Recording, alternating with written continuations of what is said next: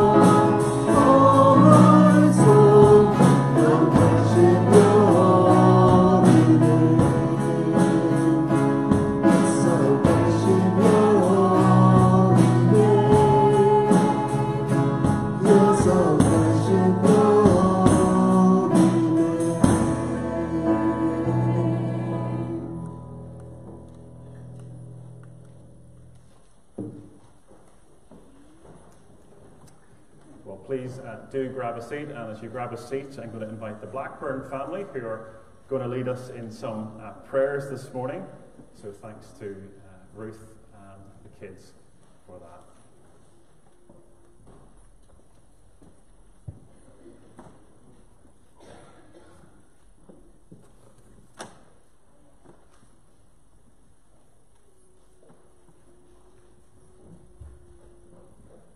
Dear God, bless all those who are sick.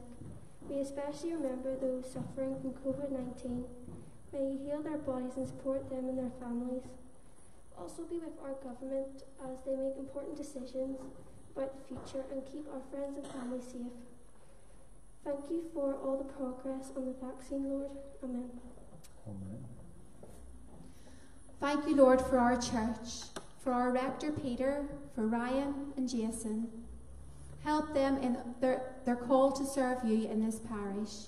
Be with all the organisations of the church, especially Kids Zone, Youth Zone, Youth Fellowship, and GB, among others, Lord, and for all the leaders who serve in these places. For we ask this in your holy name. Amen.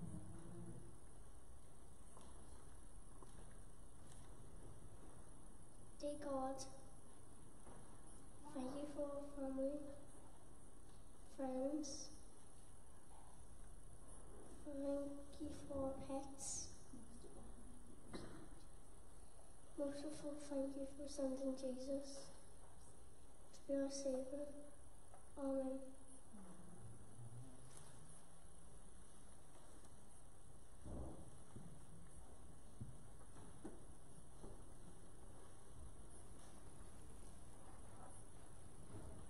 Let's just uh,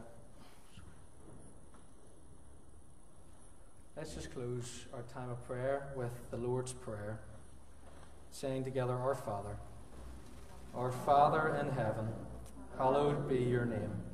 Your kingdom come. Your will be done on earth as it is in heaven. Give us today our daily bread. Forgive us our sins, as we forgive those who sin against us." Lead us not into temptation, but deliver us from evil. For the kingdom, the power, and the glory are yours, now and forever. Amen.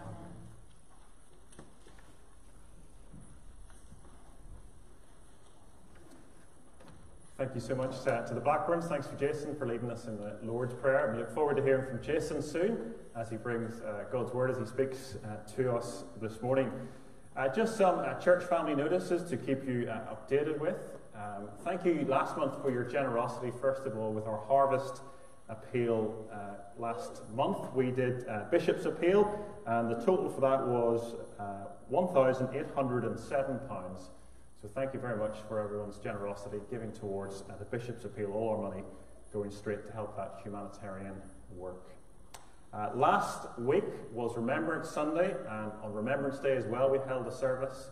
And any loose collection that was collected then, and indeed today, any loose collection can go to the Royal British Legion. We know it's been difficult to give money uh, to that organisation this year with the Poppy Appeal, but if you last chance is today for the Royal British Legion, that's loose change, uh, coins or, or notes in the collection box at the back. Uh, also, there's an opportunity to give this month uh, to our mission giving, and uh, we've got uh, five main organisations to give to. And there's a little mission envel- envelope which should be in your pew. If you can't find one in your pew, I know there is a stack at this table over here, uh, and you can give that in uh, to the organisation that you want to support. I'm not going to name them in case I forget one of them, but please do support the work of mission as we give to them through St Jude's this year. So that's uh, for the end of this month, we'll have to collect those envelopes in. Uh, this Sunday evening at 7 o'clock, we're finishing our virtual Keswick convention series down in the foyer. We've been watching some videos, and the theme is hope. Don't we all need hope uh, this year? And so our final talk will be this evening. We'll be watching that and having a chat, and we'll be praying this evening, Sunday at 7, if you want to join us. Now, then, I'm going to mention a word which usually gets us all excited, and the word is Christmas. Christmas usually gets us all excited. Some people are excited there. Uh, this year, Christmas will feel very different, won't it, for obvious reasons. But before Christmas actually comes an important season in our calendar, and it's does anyone know what it is? Just before Christmas. It begins four weeks beforehand. Any of the children know? Advent. That's right. Advent. And so for four Sundays before Christmas Day, we look forward using Advent. And who, who, who's bought their Advent calendar already? Any of the boys and girls got one? Yeah? Chocolate or Playmobil or Lego? Lego? Great. You guys? What have you got? Playmobil? Anyone else got one? Chocolate one? Well, I'm sure you're starting to think about Advent, and maybe uh, you're looking forward to, to having an Advent calendar. Uh, for the grown ups, first of all, we have this book this year.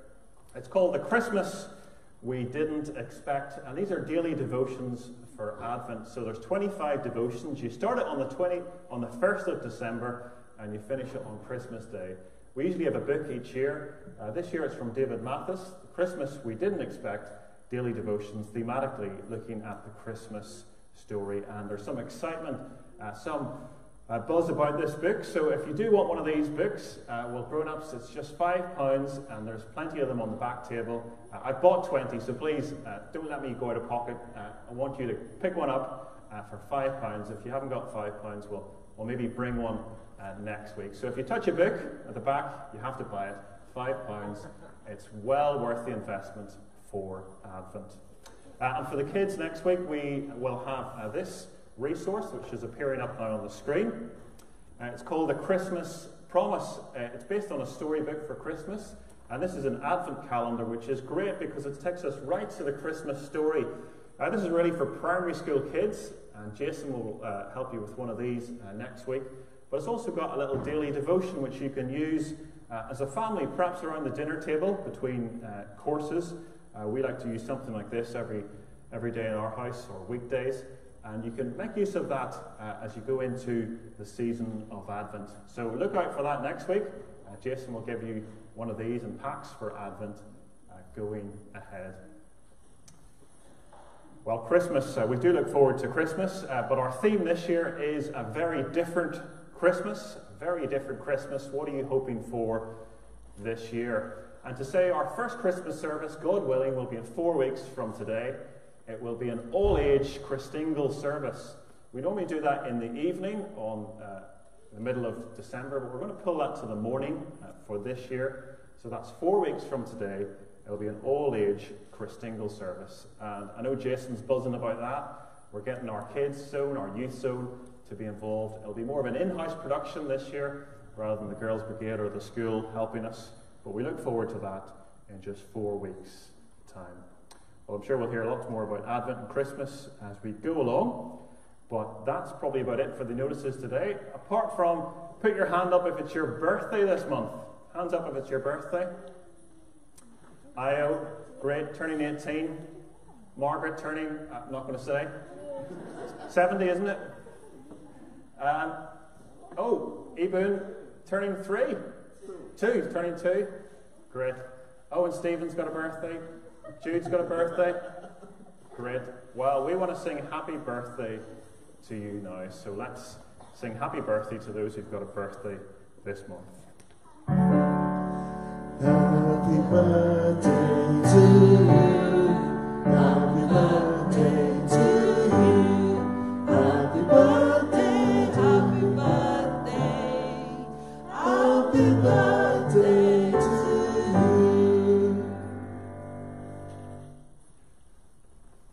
Jason singing you happy birthday later. But if you do want a chocolate bar and it's your birthday, whatever your age, you can get one as you leave today. Well, we are going to sing again, and we're going to sing a children's song, which my children have been practicing with me this morning uh, in front of the TV and YouTube. So I'm going to invite them to come out and join me. Uh, it's called Love the Lord Your God, and it's based on some words that Jesus said.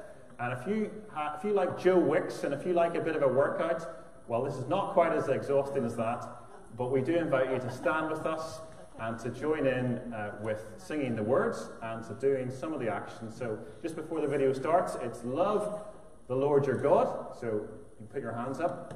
If you're able to stand, why don't you stand with me as well? So we love the Lord your God with all your heart, with all your soul, with all your mind, and with all your strength. Then there's some actions. I will serve you, hands out. I will praise you, hands up. I will, what's this one? Trust you. So look to Enya, she knows it better than me. Let's stand and sing as the video starts.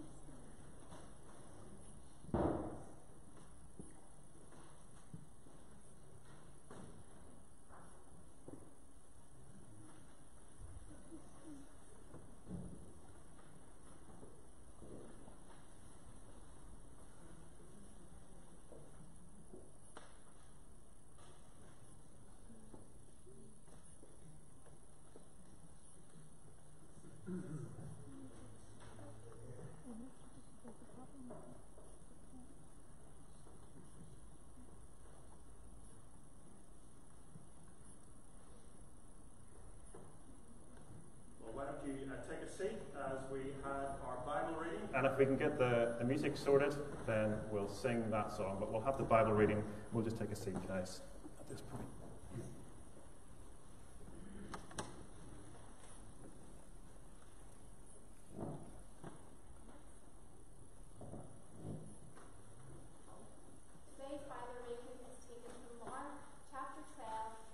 Verse 28. One of the teachers of the law came and heard them debating. Noticing that Jesus had given them a good answer, he asked him, Of all the commandments, which is the most important? The most important one, answered Jesus, is this Hear, O Israel, the Lord our God, the Lord is one. Love the Lord your God with all your heart, with all your soul, and with all your mind, and with all your strength. The second is this love your neighbour as yourself. There is no commandment greater than these. Well said, teacher, the man replied. You are right in saying that God is one, and there is no other but Him. To love Him with all your heart, with all your understanding, and with all your strength, and to love your neighbour as yourself is more important than all burnt offerings and sacrifices. When Jesus saw that he had answered wisely, he said to him, You are not far from the kingdom of God. And from then on, no one dared ask him any more questions. This is the word of the Lord.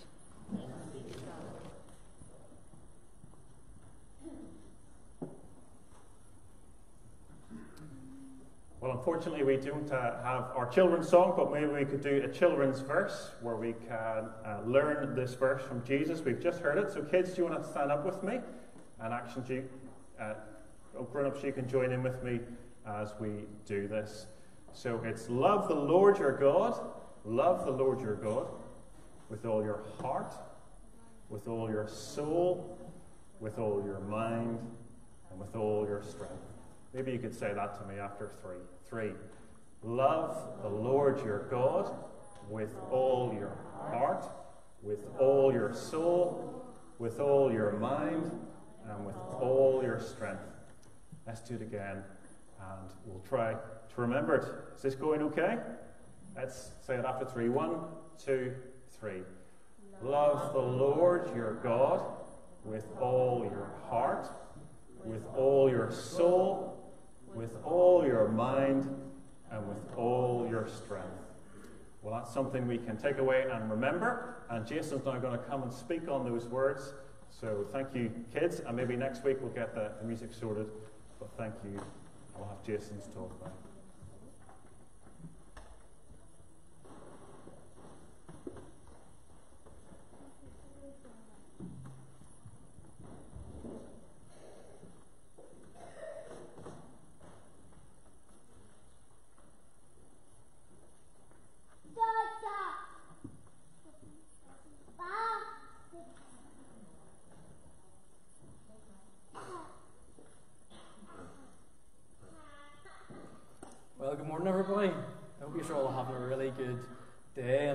Good week. Um, this morning we're talking all about questions. Now, questions, they're really important for everyday life. For instance, in school, let's take a school for instance. If you're in class and you did, couldn't ask questions, then you couldn't ask the teacher for help. You couldn't say, Teacher, could you help me with this? What does this mean? So you couldn't do that. Um, and you couldn't really get to know anybody either. You couldn't ask them where they're from. You couldn't ask them, you know, what their favourite movie is. You couldn't ask them any questions. And so questions are actually really important for our lives. And if we're honest, if we didn't have questions, we wouldn't really get that far in life. Um, and maybe you can think back to a situation in your life when you've been asked several questions all at once. Maybe, for instance, the boys and girls have been in a situation before where they've broken something that their mom loves. Maybe it's a vase, maybe it's even the TV, maybe you broke dad's TV. And in order to figure out what happened, your parents would ask you several questions. Like, where, what were you doing? Who was there with you? Why did you do that? Um, or maybe some of the adults are thinking back to a time when they had an interview for a job. And the people who were interviewing were asking them, Why do you think you're the right person for the job? And so questions are important, aren't they?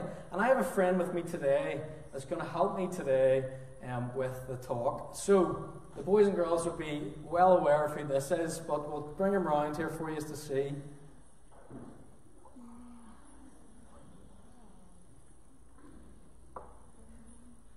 So who can tell me who this guy is? Joshua. It's Woody, isn't it? It's Woody. And who's where's Woody from? What movie? Yes, any? Toy Story. So Woody, you find he's a lot smaller in these movies. He's about seven foot here. But Woody is found in toy, the Toy Story movies. And Woody has a group of friends in these movies. And he's the leader of the, this group of friends. And the job of Woody as the leader is to make decisions, to take care of the group, and also to answer any questions they might have. And so I have a short video from Toy Story that we're going to watch, and I want the boys and girls to listen carefully and to figure out how many questions Woody is asked by his friends. And so hopefully, if it works, we're going to watch this wee video now. Is this too tall, or can you see the, the screen okay? There will be no sound. There's no sound? Sound is soft. Oh, okay. We'll scratch that then. Um, can anybody guess? There were six questions that Woody was asked in about the space of 40 seconds. And in all four movies, Woody is asked loads and loads of different questions. But just like Woody, Jesus in the Bible is asked loads of questions as well. Especially in Mark chapter 11 and Mark chapter 12, we see Jesus being asked several questions. But the people that asked Jesus these questions were asking them because they wanted to try and trip Jesus up, to try and get him to say something that would get him in trouble with the authorities or with the Jewish people. And so that will, that's, that's what was happening in chapter 11 and chapter 12 until we come to our passage today. And a teacher of the law came to Jesus after that had happened, and he asks a question about Scripture. Now, a teacher of the law would have been looked up to. He would have been looked at as a person who would know the Bible really, really well. And so people would ask him questions about Scripture, but he wanted to ask Jesus a question. And this question seemed to be genuine. And Jesus was happy to answer this question. So we'll read it together on the screen. It says, One of the teachers of the law came and heard them debating. Noticing that Jesus had given them a good answer, he asked him, Of all the commandments, which is the most important? And so he asked Jesus, out of all the commandments, now bear in mind, the Jewish people had 613 different commandments. So that's a lot of, that's a lot of commandments, isn't it? But this man wanted to know what the most important commandment is. Now, I've got another question for you. Who here has ever been in a debate with their friends before? Maybe it's about what is the best Marvel movie. Who likes Marvel? Up your hand up. Quite a few people. Maybe you've been in a debate with your friend which Marvel movie is the best. Maybe you think it's Captain America Civil War, and maybe they think it's Spider Man Homecoming. Now, I'm sure I'm, I'm, I'm probably talking nonsense to a few people here, but um, that's one debate you might have been in. Another debate might have been what the best football team in the world is. Now, for example, Peter thinks it's Leeds, and we all know it's not Leeds. We all know it's Arsenal. Arsenal are the best team, I think, anyway. But I'm sure all of us have different opinions on these different subjects. But in the same way, the Jewish people had different opinions on what the most important commandment is. And this is why this man wanted to come as teacher of the law, wanted to hear what Jesus had to say about this debate. And so let's read and hear what Jesus has to say in response.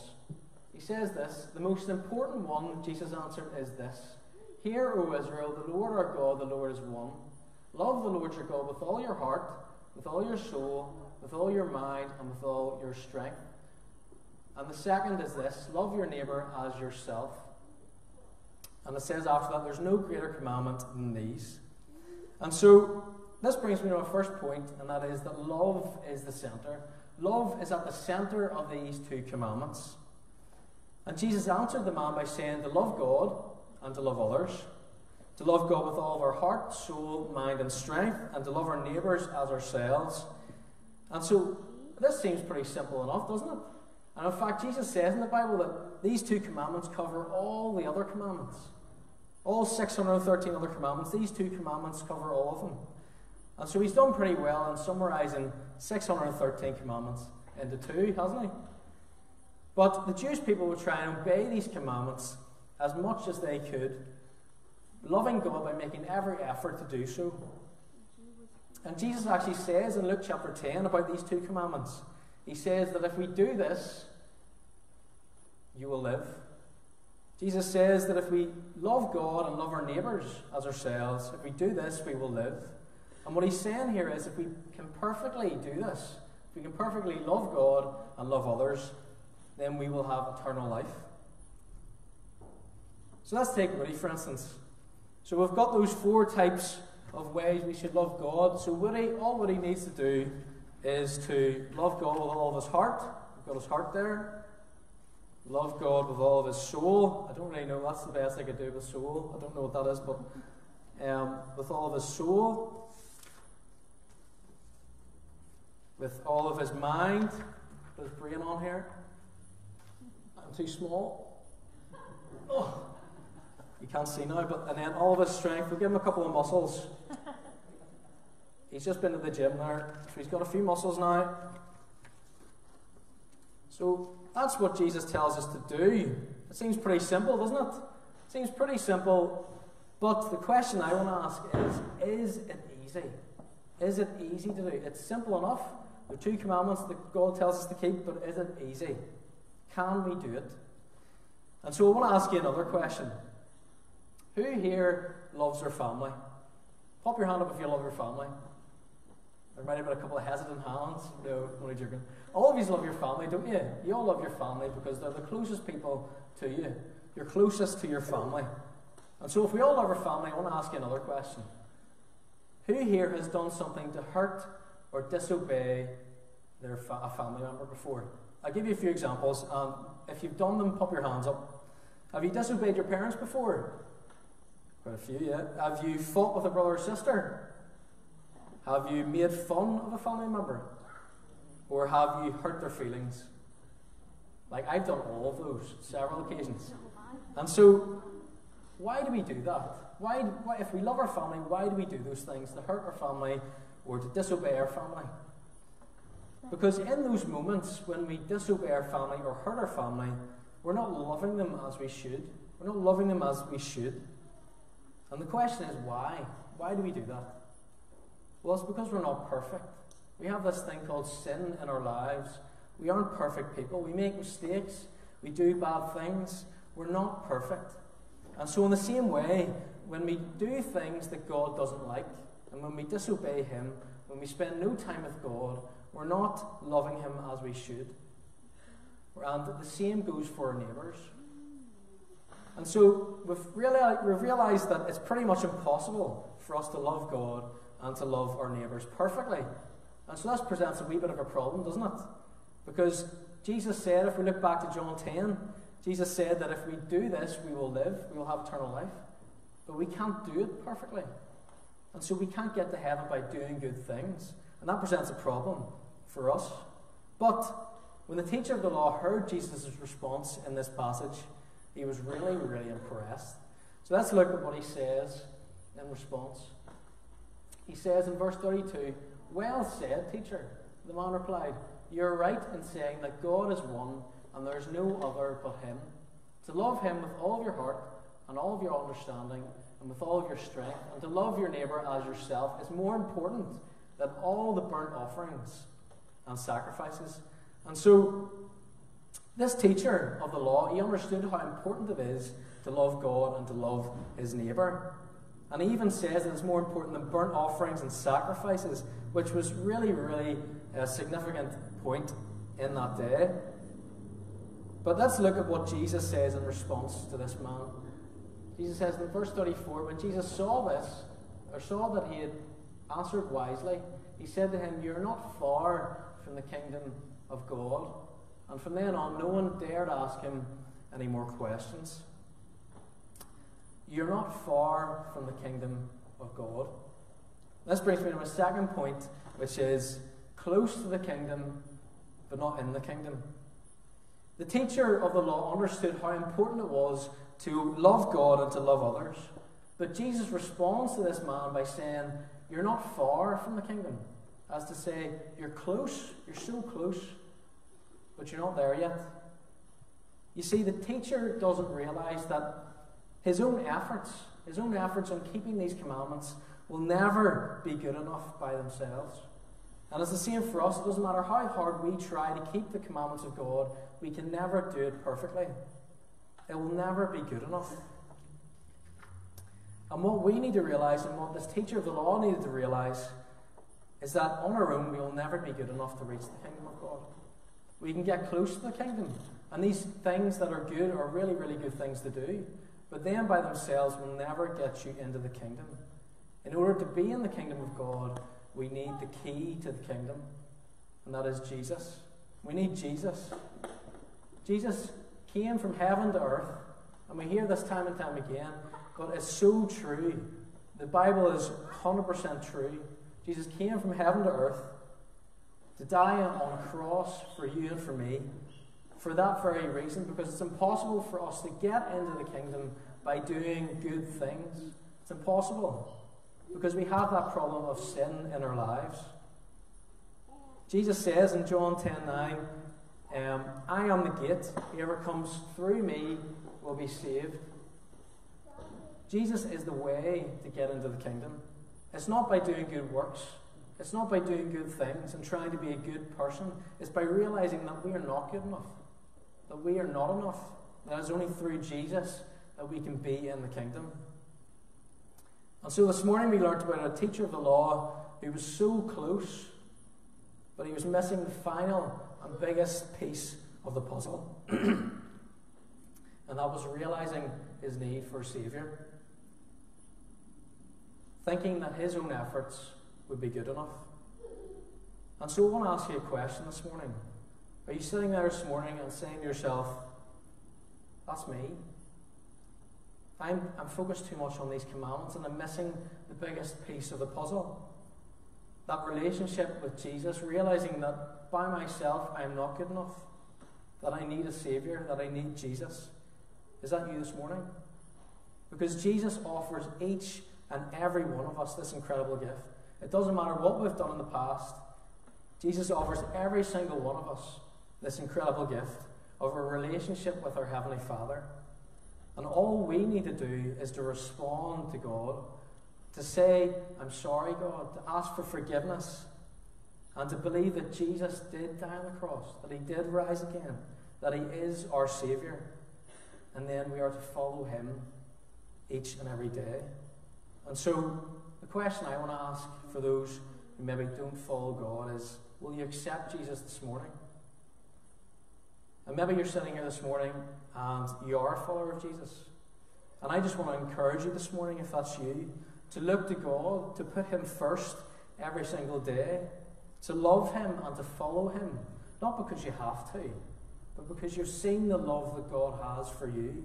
And as a response to that love, you will want to do that more and more and more. Let's pray. Lord, we come before you and we just give you thanks and praise for this passage. Give you thanks um, for your love for us, that you came to earth and you died on a cross to solve that problem of sin. We pray that you help us to look to you um, as our Saviour. And um, we pray that you help us to follow you each day. We pray these things in your name. Amen.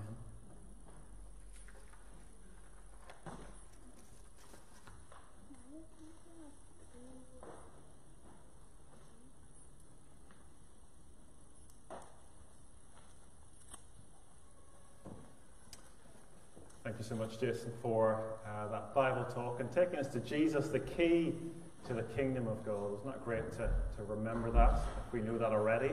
If we're not quite sure, indeed, do chat with Jason or myself. Wouldn't it be great to, to pray with you this morning?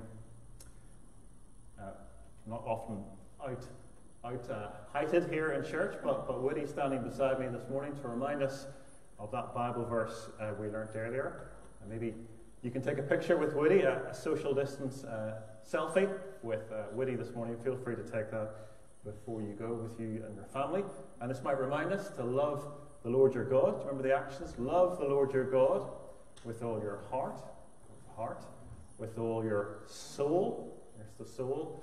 With all your mind and with all your strength. And to remind us that Jesus, He alone, is the one who could do that, and He can take us to God. Well, we're going to go to God now as we affirm our faith, as we put our trust in Jesus, as Jason was reminding us there, looking to Jesus, the key. And I invite you, if you're able to, stand with me and say these words. We're going to say together who we believe in God the Father, the Son, and the Holy Spirit, the one God who's Father, Son, and Holy Spirit. Let's put our faith in Him. Together we say, We believe in God the Father, from whom every family in heaven and on earth is named. We believe in God the Son, who lives in our hearts through faith and fills us with His love. We believe in God the Holy Spirit, who strengthens us with power from on high. We believe in one God, Father, Son, and Holy Spirit. Amen. As we remain standing, we can sing our closing hymn. We sing, How Great is Our God. Would you sing it with me? Let's sing the splendor of our King. The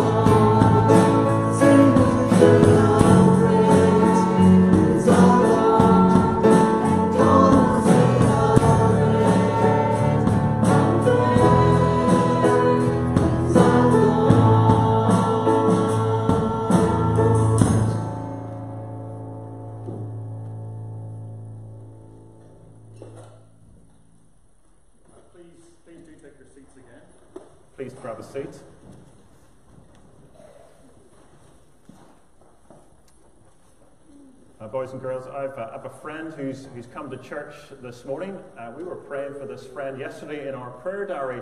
If you have a, a prayer diary, uh, maybe anyone guess? Uh, guess who's here this morning? A friend of mine? Oh, who was praying yesterday? Well, if you were praying yesterday, on the 14th of this month, we were praying for a friend of mine called David. And David is a bishop uh, here in this diocese, in this area. And it's lovely to welcome David and his wife Hilary this morning. So I'm going to invite David to, to come and join me uh, this, this morning. And David's going to pray for us and bring some greetings uh, from the diocese. So, David, if you're happy to use the eagle, and you can give us our closing prayer. Thank you very much. Thank you very much, Peter. It's really a delight to be with you this morning. I really loved that family service. Thank you so much, and thank you, Jason, uh, for the talk as well. Uh, really good to be with you all uh, this morning. Uh, as Peter said, my name is David. I'm the bishop in the diocese, and I was only a bishop seven weeks when we went into lockdown. So there's the occasional Sunday where I'm not uh, preaching somewhere in the diocese, not very often, but from time to time. And when that happens, I just turn up somewhere on the Sunday morning. So decided to turn up in St Jude's this morning. So it's great to be with you. And, and when I just turn up, there's already been a sermon, so I don't preach another one at the end, so you can be relieved. But I do read out a little verse and make a comment. And that's what I want to do this morning. And the verse that I was drawn to this morning was a verse in John's Gospel, chapter 6, where Jesus says that he is the bread of life. Now, bread is that stable food that we need every day and that we need to, to feed on. Uh, but there's a little verse in verse 34 where the people said to Jesus, Sir, give us this bread always. Sir, give us this bread always. Friends in St. Jude's, we're living in a world where people are indeed asking that same question. And it was all about questions this morning. And the question that people out there are asking is this Sir, give us this bread always. People out there, they don't realize it, but they are looking for a relationship with Jesus. They are looking for meaning in life. They are looking for forgiveness from sin. They are looking to be able to spend eternity with Christ forever in heaven. Even when they don't recognize it, they are searching for that. They're asking this question Sir, give us this bread. As we go out from church this morning, and as we go out to live our lives, if we are followers of Jesus Christ, we go out to help others discover that Jesus is the bread of life. So may God really bless you as a church in that, in enabling others to see that Jesus is the bread of life. And thank you for all that together you are doing to tell others that Jesus is the bread of life. And thank you, Peter, for your leadership here and the other members of the team who serve with you here. I just want to pray uh, that God would bless you and that God would bless you as a church to be a blessing. And so we pray that the blessing of God Almighty, God the Father, God the Son, and God the Holy Spirit be upon you and upon those you love, and those to whom you bring the good news that Jesus is the bread of life. This day, this week, and always. Amen. Thank you.